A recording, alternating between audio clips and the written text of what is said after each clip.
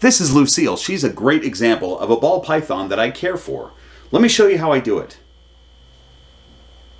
That was the that was the cold open. We can probably cut to the logo thing now.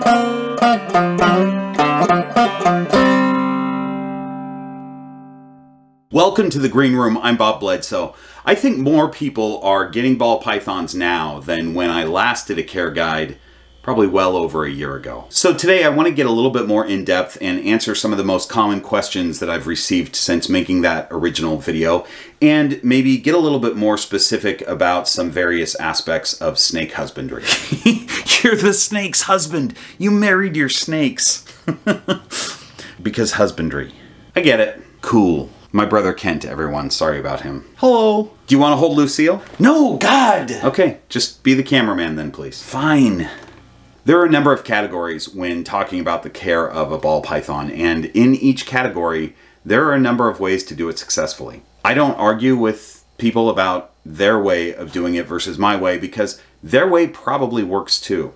But in this video, I'm going to show you how I do it, and I encourage you to look at other people's videos and see their different ways of doing things, um, because you'll get an idea of how you want to do things. Ball python care has changed a lot in the past year and a half or so since I made that video, so this will be all new information. I'm just kidding, it's not. It's going to be a lot of the same stuff but a little bit more in depth. So we're gonna go outside and talk about setup, and then we're gonna come back in here and discuss feeding, and then I'm gonna cover some of the most common questions that I get, and also go over some beginner questions that the Green Room Pythons Patreon community came up with. So there's a lot going on in this episode. Let's cut to a few days ago when I was losing my voice and went outside to talk about how to set up an enclosure. All right, some of you watching this are experienced keepers and you don't really need this information and you're probably watching the video just because you support the channel and I really appreciate that. Most of you watching are going to be new to ball pythons and you're probably considering getting a ball python. You may have heard that it's a good beginner species. I don't think any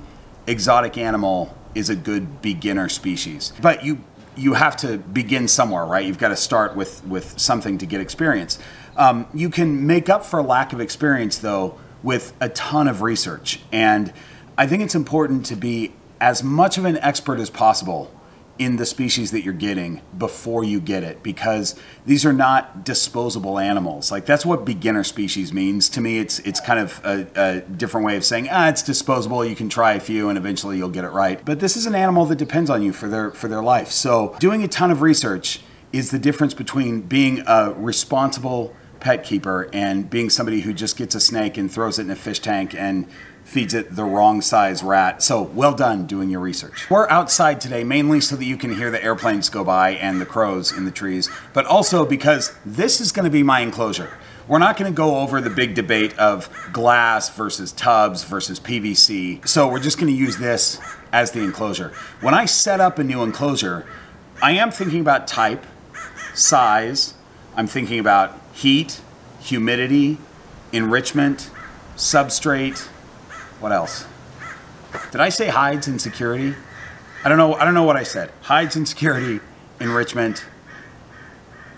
Anyway, we're going to go over these things. I'll make sure that I cover them all. We'll go over them. All right, enclosure size is a big debate. And again, I'm going to tell you how I keep my animals, but regardless of what you do, you could keep them in a V70 tub and somebody goes, V70, I keep mine in a 4x2x2. You're abusing your animals. And somebody else comes in and says, 4x2x2, I keep mine in a 6x10x8. You're abusing your animals. 6x10x8, I've moved out of my house and into the garage so that my snake can have my entire home. You're abusing your animals. Pay no attention to those people on Facebook. Uh, figure out what you want to do as far as the size of your enclosure. I'm going to tell you what I go by. I generally say that the snake should not be any longer than one length plus one end of the enclosure. Now, uh, the way the reason that I say in general is because snakes are all individuals, and you'll find some that'll do really well in an enclosure that's much bigger than that. You'll find some that do really well in an enclosure that's smaller than that, especially the young ones. A really young ball python sometimes likes to be in a much smaller enclosure. Not always. So you, you're going to sort of figure out what works for your snake based on whether they're eating and whether they're doing natural behaviors, things like that. If you're just bringing your snake home, you want to put them on paper. And that's because you want to be able to see any snake mites coming off of them. We're not talking about quarantine today, that's a separate video, uh, but at least for 30 days, that's about the life cycle of a potential um, snake mite egg that might be on your snake, all the way up until adult, where you could actually see them wandering around. So you want them on paper to start out with. This is going to make it difficult for humidity, especially if you live in a dry area. But for 30 days, it's probably okay. Just spray a little bit in the corner. You don't have to douse the whole thing, but have a big water bowl, spray a little bit in the corner occasionally, and um, you can manage your humidity that way for 30 days. After 30 days, you can use substrate. You can change out your paper. And there are a number of substrates to go with. I'm just going to tell you what I use so that this video isn't four hours long because each of these subjects could be their own video and they have been. I have videos on all these things. But let's talk about uh, wind. No, let's talk about substrate. After 30 days, I'm using chip. This can be Repti-Chip or Coco Block or whatever you want. This is gonna keep my humidity. This is what I'm gonna mix water into to control my humidity. Sometimes for me, if I mix a little bit too much, the humidity is going to spike way up there. So I've got to, you, have got to figure out a, a happy medium of how much water to put in, but I'm not spraying the enclosure.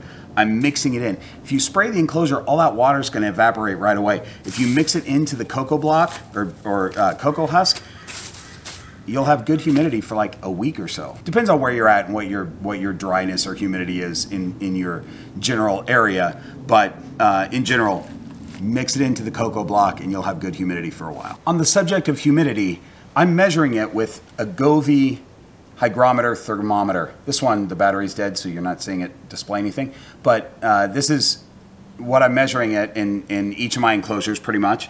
I mean, you can sometimes tell visually, you know, that your humidity's okay, but I like to keep my snakes between um, like 65 and 80. That's kind of a big um, range, but that's generally where they're at. They're usually probably closer to 70 uh, most of the time, and between 80 and 90 when they're in shed.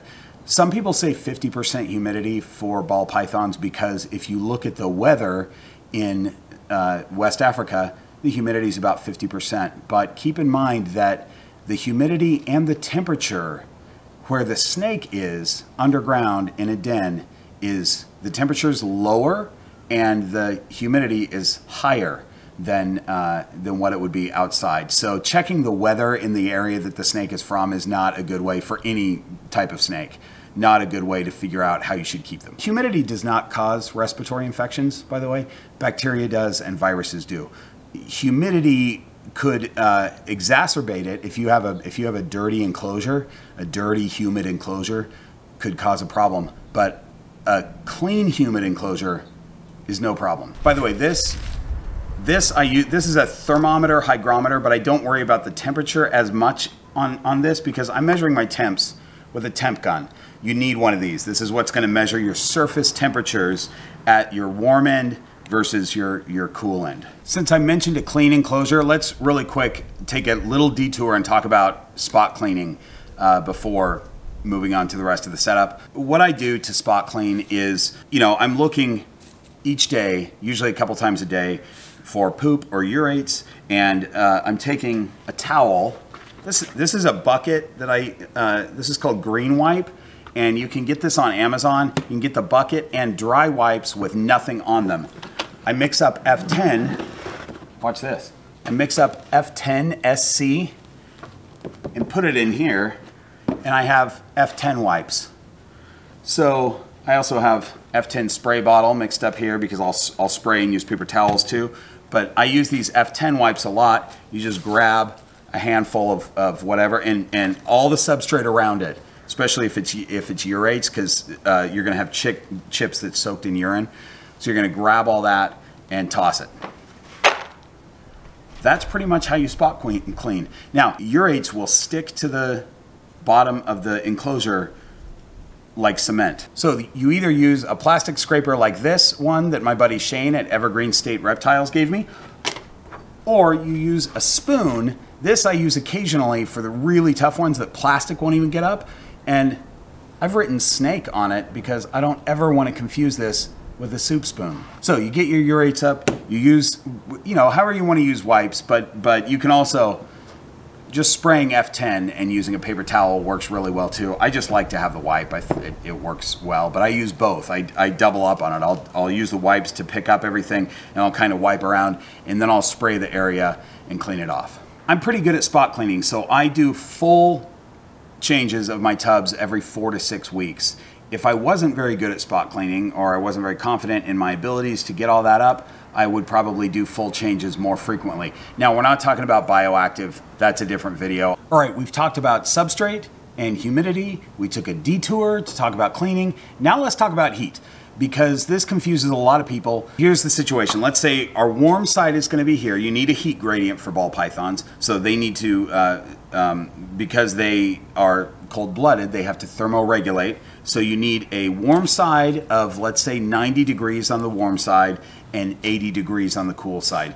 Generally, if your house is a normal range of, I don't know, what do people keep their houses at? I keep mine a little warm at 76 to 78. Some people keep it at 73. But a lot of times, if you're good on your warm side, your cool side will be fine. You'll be somewhere around 80. I don't mind my snakes to be a couple degrees cooler than the standard of 90 and 80. I have some of my snakes at like 88 on the warm side and I don't I try not to get below 88. You know, 76 is fine on the cool side. It's not for everybody. It's just sort of how it works out because I have some of mine in racks and and the racks heat differently based on the levels.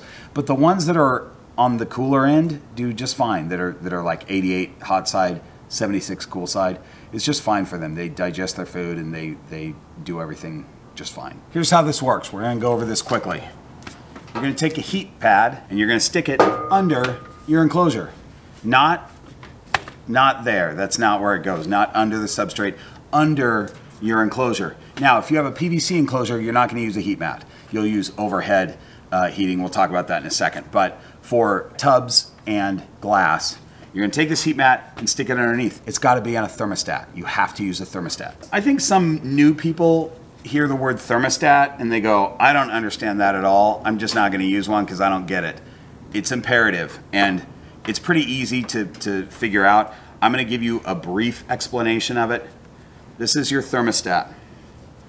Your heat mat doesn't plug into the wall. It plugs into the thermostat, and the thermostat plugs into the wall. This is the thing. I'm going to plug this into the wall. This is what's running the heat mat now instead of the wall. If I plugged my heat mat into the wall, it's just going to get hotter and hotter and hotter and burn your snake and kill it.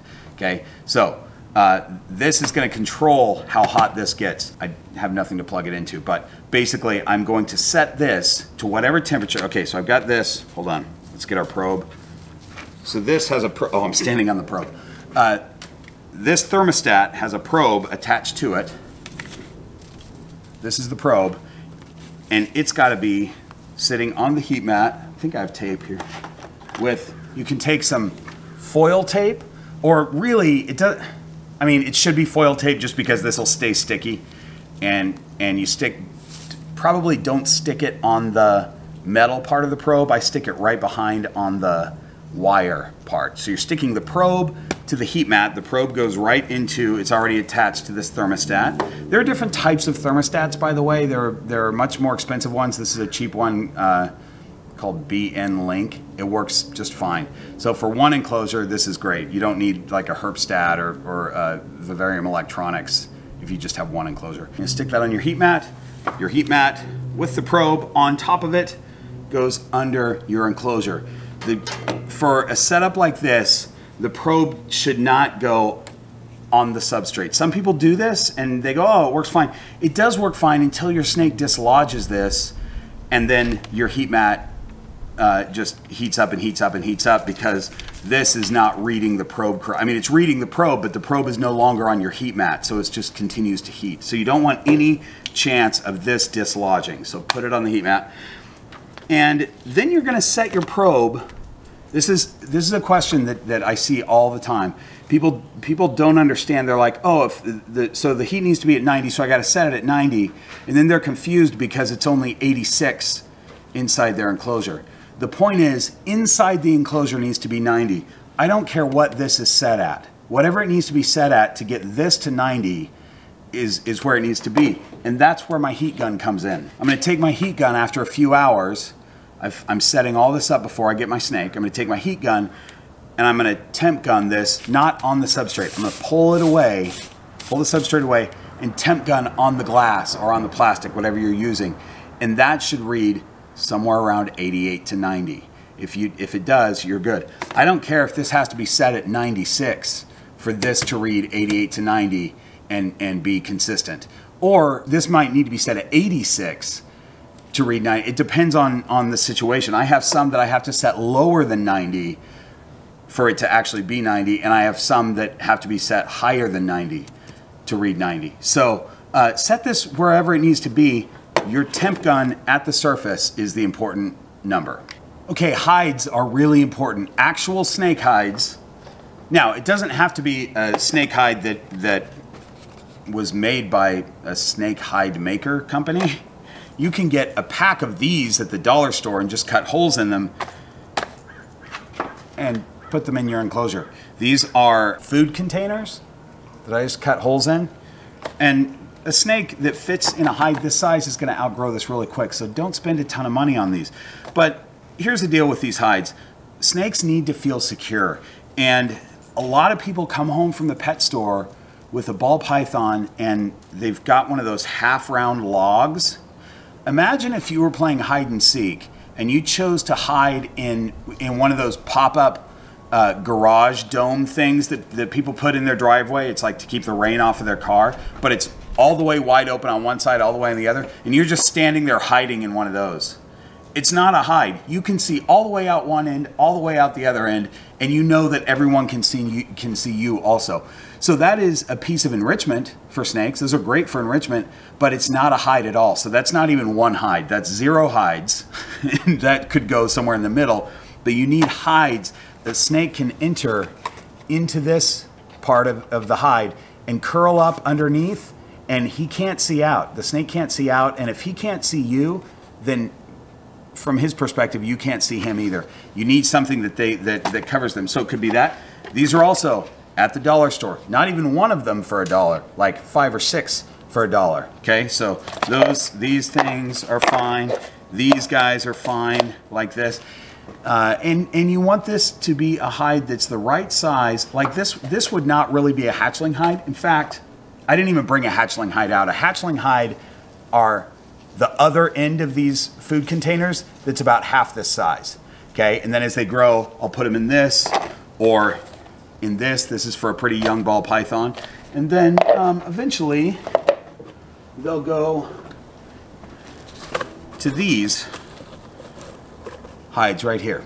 And then they'll they'll get bigger even. But this is this hide they'll be in for like I don't know, they'll probably fit in here for a year to a year and a half before they graduate to to probably just one size larger. And then if you get one size larger than this, then you're buying buckets at the dollar store, like full size buckets and cutting holes in, in the buckets. But the point is you you want to give them two hides that are exactly the same because they snakes prefer security over thermoregulation. They don't. They their number one concern is security. Um, and when I say snakes, I'm talking specifically about ball pythons. Different species are a little bit different, but ball pythons, pretty much their number one thing on their mind is: Am I secure and am I safe? If they, if you have two different hides, I realize these are two different sizes, but I want to do this for the example. If I have this hide and this hide, and my snake likes this hide because he just barely fits in it, and this one's a little bit too big, then it doesn't matter that this is on the cool side. He's gonna stay in this one, even though he needs to digest his food and be on the warm side, he's gonna stay over here because he prefers the security. So if I give him two hides that are exactly the same, he, he doesn't have an option to, to you know, the, he, he's gonna like these the same and he'll thermoregulate. Enrichment. Give them a bunch of things to crawl around on and explore, especially a young snake, give them a bunch of enrichment. Give them, have some logs, have a bunch of different things so that you can, you know, you don't have to give them all this stuff. Let's say I give them this and this, and then next time I go to, to do a full clean out, I'm gonna take their enrichment and I'm gonna change them. I'm gonna give them this thing right here and these plants or whatever. So it's changing because eventually that skull thing that you got for inside the tank that your snake crawls through the eye holes of, they're going to get bored of it after 30 days and eventually they'll get stuck in it. So uh, don't use skulls for one thing, and um, you know this stuff cha- change it out every you know every so often, so that they they have new stuff to keep their mind active. Because they will, you will see their mind working. By the way, I know that there are some people that'll watch this video and go, "Oh, snakes don't think. They're they don't. They're just a snake. Why does it matter?" But if you give them something new, one new item in their enclosure, throw your heat gun in there and just watch what your snake does when they come out of their hide. They will inspect this all over the place. That is their mind working. So give them new things to have their mind work. Don't keep your heat gun inside the enclosure. So give them some cool things to crawl around on. Don't uh, don't give them anything they're going to get stuck in. And then you need a water bowl. Let's give them some water. Give them a water bowl that they can't dump. I use this is a this is a cereal bowl, and I do use this for for water for my snakes. But most of the ones that I get are those those little white ceramic ramekins. You just don't want a bowl that tapers like this one. Like imagine a bowl this shape, a snake is gonna squeeze their body around it and pick it up and it'll dump. So just have something that they can't dump. Another question that I see posted a lot is, do you have to filter your water? Do you have to use bottled water for your snakes? It's up to you and, and where you live um, a big, you know, what what I always see is somebody says, "Oh, do I have to use filtered water?" And then some people will respond, "Snakes live outside. They don't. They drink out of the stream. They don't drink filtered water." That's a great point, but streams aren't filled with chemicals and chlorine and things like that either. So if I had a stream running through my backyard with clean stream water, totally would use that, no problem. I live in Burbank. I can taste chlorine in my water so I filter, I just have a pitcher, and so I filter my snake's water because I drink filtered water. So I would just give my snakes whatever I drink. If you drink from the tap, give your snakes tap water. That, that water is probably fine to drink. Um, keep in mind that your snakes are going to have a more sensitive system than you with regard to chemicals in the water, chlorine, things like that. So, uh, you know, if you can taste chlorine, you probably should use filtered water. Don't use distilled water. Distilled water removes everything, minerals, all kinds of stuff that, that you want your animal to have and you want to have also when you when you drink water. And you don't need bottled water. You don't have to pay for bottled water. Just get a just get a pitcher that, that will filter your water and change the filter regularly. Speaking of changing, I change out my waters every three days. Um, some people go a week because there's a lot of, of people who have way more snakes than I have. Uh, so changing every three days is kind of a big deal. So they'll go once a week, something like that. I find though that that my snakes do fine with every three days. If I went to once a week, I have a few snakes that as soon as I change the water, they'll go and start drinking. And to me, that means if I give them fresh water and I visually see them like waiting for that fresh water so they can take a drink, that means that, that I waited too long to change their water. So give them fresh water uh, as often as you can. If you have one snake and you want to change their water every day, do it. I clean out the bowl every time. I either I either I kind of sw switch off. I will um, use Dawn dish soap and clean out the the bowl, or I use F10 and just sanitize the bowl and give them new water. All right, this snake is set up. We're pretending that it has walls and a, and a ceiling. So let me say one more thing before we go back inside to talk about other stuff. I mentioned when we were talking about heat that you're not going to use a heat mat on a PVC enclosure, and that's because the PVC generally is too thick for the heat mat to go through. Uh, so all you do is use overhead heat for that. So, so you can use a, um, a CHE, you can use a, a overhead like a heat emitter I forget what you call it but I, I have one in my in my PVC enclosure for my super dwarf. Those are usually options that the builder of those enclosures will give you uh, to do an overhead. This is another thing big debate. Ball pythons don't need belly heat. They don't have belly heat in the wild. They just have heat and giving them a nice warm side is just fine. If I have heat, this this was a question that somebody asked me recently, and it's a good question if I have heat on this, you know, my, my snake is going to be in his warm side enclosure and my heat comes from the top, it's not necessarily going to heat under the, the hide as well as it's heating around the hide. But this goes back to me being okay with my snake at 88. If this, I haven't tested what it is, I should test it and see. But if I have heat coming down at 90 degrees on top of the hide, he's not going to be any less than 88 under here. They're going to be just fine. So, um, and they also could come out and bask, especially if the heat is on at night. That's another debate as to whether you really need heat at night. You probably don't, but my snakes all keep keep their heat on at night. Uh, but don't worry about that. Just if, if you need if you can't use a heat mat because you've got a PVC, do the overhead, have it hitting at 90, and they'll be just fine. All right, let's go back inside. Okay, feeding. Now, this is a big topic. Wait, Kent's Corner. Do you have a Kent's Corner? Yes. Like a good one? Because this is a long video and we don't have time for nonsense. It's not nonsense. Why would you even think that I would? Fine, let's roll a Kent's Corner. Hi, and welcome to Kent's Corner, where every episode is the best. Today, since my brother keeps talking about snake husbandry, I wrote him some vows so that he can marry his snakes and be their husband since he loves them so much. I, Bob Bledsoe, Nope. promise. We're not doing that. Dang it. Sorry, folks.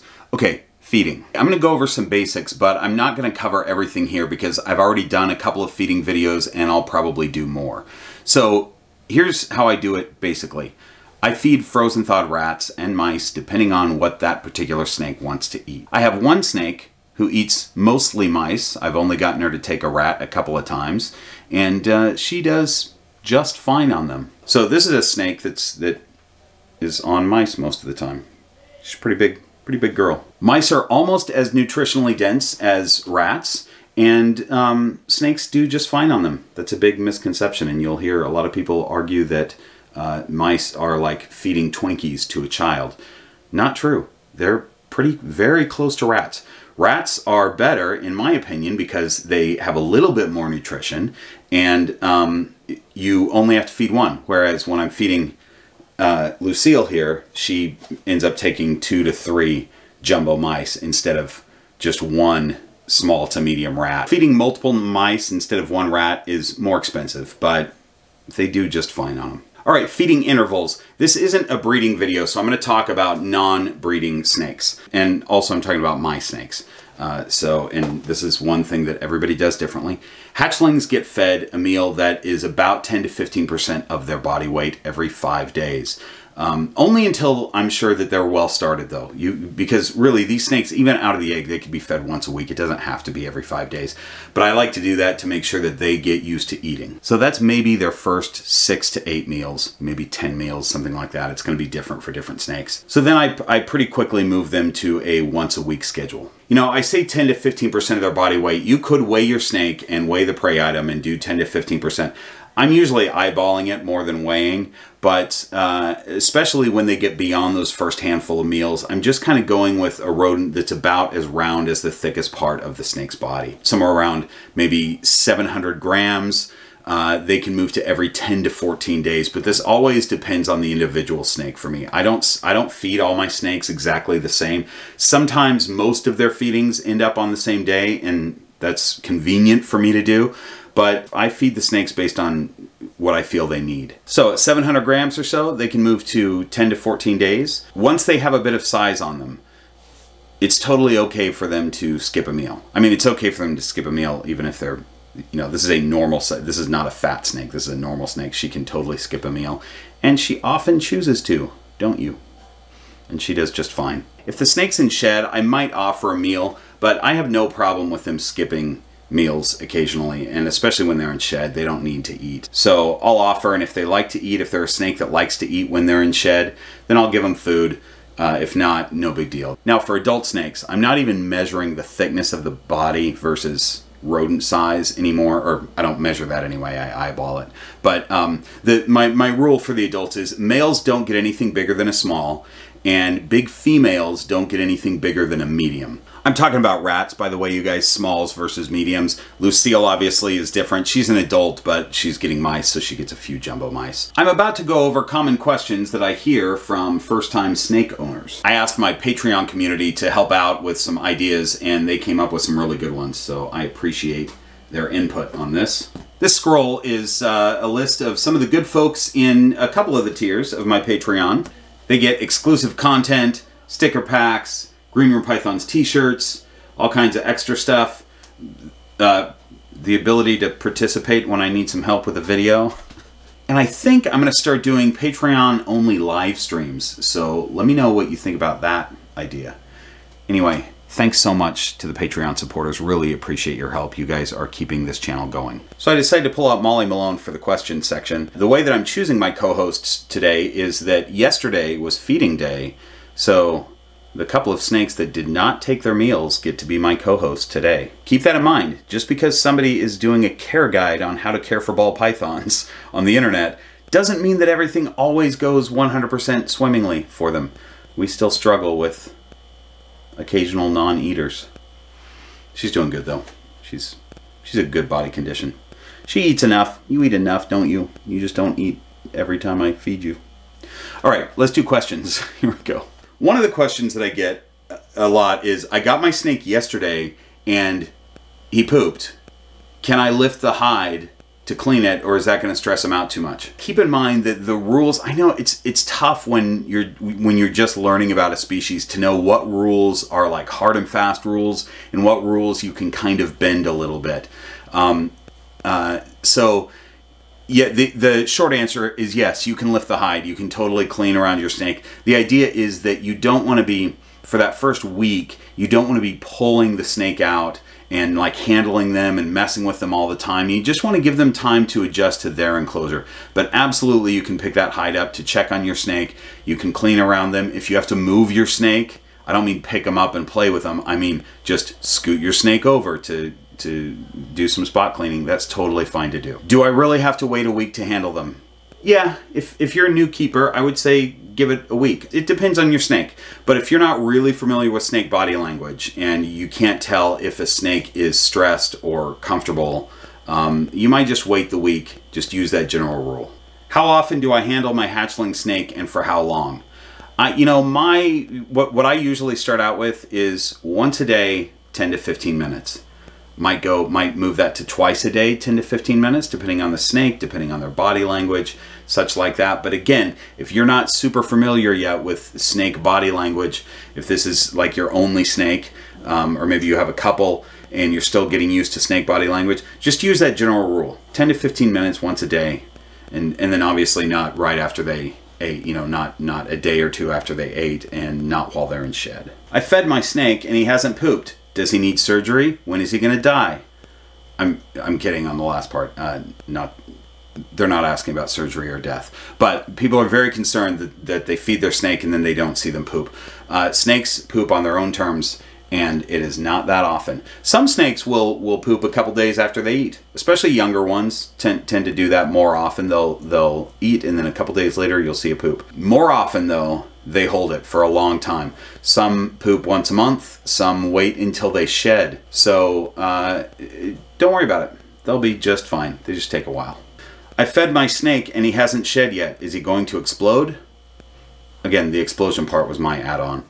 Uh, snakes shed, let's say that growing, young growing snakes shed about every six weeks. But again, every snake is individual and every snake is different. So you can expect them to shed about every six weeks. But I, I have heard this a couple times that uh, on on Facebook posts that people think that when they feed their snake, it will shed its skin each time, and that is not a thing. But don't worry, your snake will shed when it sheds, just like poop. Should I move my snake into a separate enclosure to feed it? Nope. No, no need for that. Don't do that. How do I know if a snake is about to strike? Slash, how do I gain confidence in handling my snake? That's a whole separate video, but a snake that is about to strike, they always say the neck is in an S position. The problem is a snake is an S-shaped animal. So when are they not about to strike, right? So so the idea is laying in a in a however they're laying in a coil or however they're they're in their enclosure, right? Neck is in an S position, yes, but a tense S position with their head trained on you okay, or trained on whatever they're about to strike, like their food, and, and their head is going to be up a little bit. But it's going to be a very tense thing. It's not. It's not like sitting here, relaxed like this. This is an S position, right? But she's not about to strike. So we're talking neck. This part that's going into my beard, uh, in a tense, tight S position with the head up. That that means that they're potentially going to strike. Maybe bluff strike. Maybe they won't, but they're they're thinking about it. Um, and gaining confidence, again, That this is a whole separate video. But gaining confidence with handling your snake um, is is all about just doing it.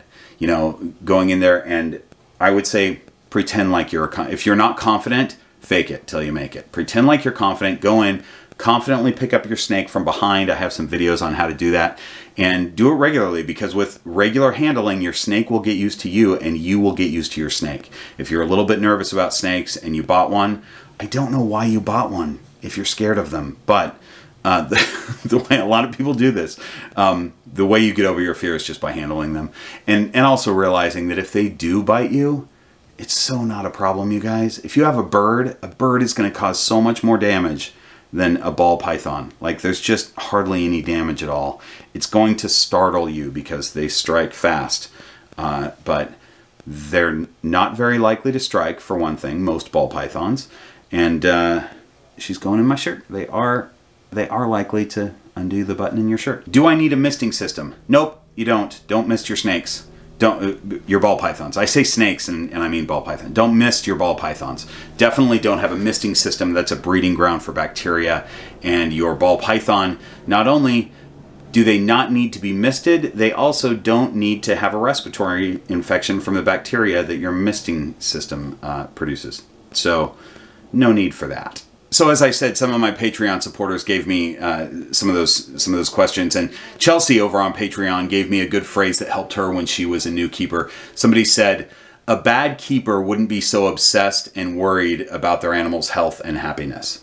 So I see that a lot where people are like, "Oh, I feel like such a bad keeper. I'm I'm I, I don't I don't this happened or I don't understand this, and I feel like I'm being a bad keeper." Don't worry. The fact that you're worried about it, you're not a bad keeper. Okay. Um, I, I would say this though that it's and I've mentioned it before specifically talking about Facebook there are a lot of trolls on Facebook and the the really unfortunate thing is that somebody who's kind of it's swimming in their head like oh I'm so worried about my snake. I love my snake so much and I don't want to be a bad keeper. You'll run into a troll on Facebook that's like you're abusing your animals. I can't believe you're you know just don't listen to that.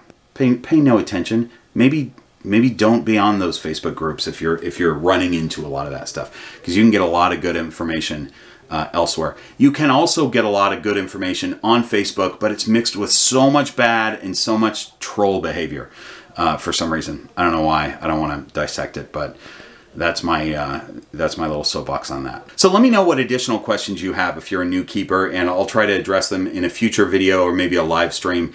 And I know a lot of you are experienced keepers, so feel free to drop your advice in the comment section too. A lot of people go through and read those comments. Um, I do. I always answer all the comments. So um, you know, put your comments down. I appreciate your likes. I appreciate you subscribing to the channel and making those comments and such because that is uh, that gives the channel a lot of support. So, with that being said, thanks so much for watching. I'll see you next week. Molly Malone, you did so well. You're such a good co-host. You know what good co-hosts do? They eat their dinner.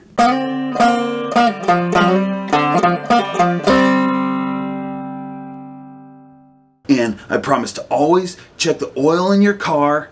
Snakes don't even have cars. And I promise to let you pick out the movie and always love and cherish you, even when your cages are full of poop, because that's, I'm a snake husband. Not, not me, my brother. These are vows for, for my brother. I would never